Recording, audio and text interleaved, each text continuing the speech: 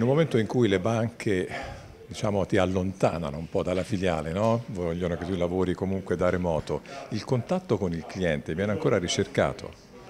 ma noi siamo fautori di questo, infatti ci teniamo a conservare la nostra rete fisica, a rafforzarla, a dare un servizio migliore, avere filiali più strutturate che consentono di avere dentro più specialisti per parlare alla clientela, ma facciamo del contatto umano un po' la nostra bandiera. No? L'essere banca locale significa il cliente, il socio, conoscerlo, viverlo nella loro quotidianità, essere insediati sui territori e non a caso la banca poi ha le sue 50 filiali e lavora con 360 persone con una rete fisica che le consente di essere vicina ai bisogni di imprese e famiglie su tutto il nostro territorio. Ecco, tutto questo, quindi la piccola banca locale, come eh, viene inserita nel progetto ICREA di una SPA che diciamo, in qualche modo protegge tutto il gruppo?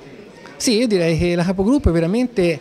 una sovrastruttura per tutte le banche che consente a tutti di avere ancora più tranquillità e sicurezza, perché le capogruppo bancarie nascono legislativamente nel 2016 con la riforma del sistema del mondo cooperativo per dare a livello di sistema una maggior sicurezza a tutte le BCC che conservano, nel momento in cui hanno numeri sani come a Banca Tema, la propria autonomia sui territori. Quindi abbiamo alle spalle un grande gruppo bancario, che per inciso è il terzo gruppo bancario italiano, però abbiamo l'autonomia all'interno della piccola banca locale che nel suo territorio è libera di gestirsi le sue condizioni, il suo rapporto con i clienti e su questo quindi di impostare una relazione che è tutta volta ai singoli bisogni e a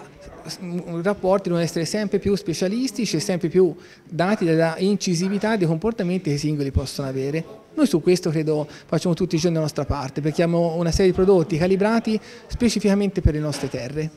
Ecco, a proposito di prodotti per la terra, l'attenzione green della vostra banca in cosa si sostanzia? Ma noi abbiamo tra l'altro, mi fa piacere ricordare un dato prima di tutto, noi siamo stati nel 2004 con le allora BCC, eh, le, le, prime banche a sottoscrivere la convenzione con Lega Ambiente per le fonti rinnovabili. Erano gli anni pieneristici del fotovoltaico, del solare termico. Poi ci siamo accorti che non bastava solo produrre energia pulita, ma bisognava anche risparmiare. Da lì quindi la lotta agli sprechi, coibentare gli edifici, fare cappotti termici, quindi operare sul risparmio delle fonti di energia e non solo sulla produzione pulita. Siamo arrivati quindi al mondo della sostenibilità e su questo abbiamo poi creato prodotti specifici anche per la parte della degli, del mondo agricoltura per tutelare incendi, il patrimonio boschivo dagli incendi, tutelare l'agricoltura con gli invasi e ci siamo spinti poi tutto il mondo nuovi, dei nuovi prodotti green che contengono quindi solare termico, eolico, fotovoltaico con finanziamenti specifici in un contesto però macro di sostenibilità e attenzione al territorio che passa da tutti gli aspetti risparmiare nel consumo, consumo intelligente e produrre energia pulita.